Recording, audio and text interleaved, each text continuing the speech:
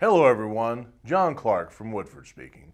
Welcome to Plumbing Tips. Today I'm going to review the Woodford Model 68 Undercover Commercial Wall Hydrant. The Woodford Model 68 Undercover Hydrant is an exterior wall hydrant for commercial buildings that automatically drains with and without a hose attached. It's freezeless even if a hose is attached and is anti-burst.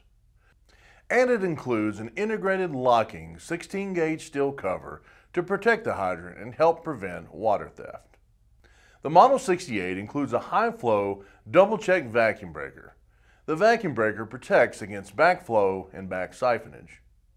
And the benefit of the double check vacuum breaker is that it's field testable to ensure the vacuum breaker is performing. Here are some additional features of the Model 68 undercover hydrant. It includes a low profile, sleek, 16 gauge flip down stainless steel cover that projects less than one inch from the wall.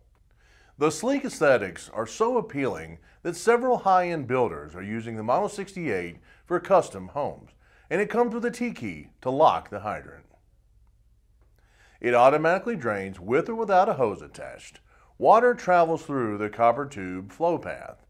Water drains through the flow path in the copper drain tube and out the drain port, away from the building. The hydrant can't burst because there's never water in the tubes. It offers variable flow with the Acme threaded stem screw and there's no spray bag. The solid brass operating rod ensures the proper seating of the plunger with each opening and closing of the valve. It includes a thick, long-lasting EPDM, which is high-quality rubber plunger that seats in the brass valve body. It's ASSE 1053 listed. It includes an adjustable wall clamp and is easier to install than recessed box hydrants. And the Model 68 is backed by a limited 5-year warranty. The Woodford Model 68 undercover hydrant is virtually problem-free and is available at plumbing wholesalers everywhere.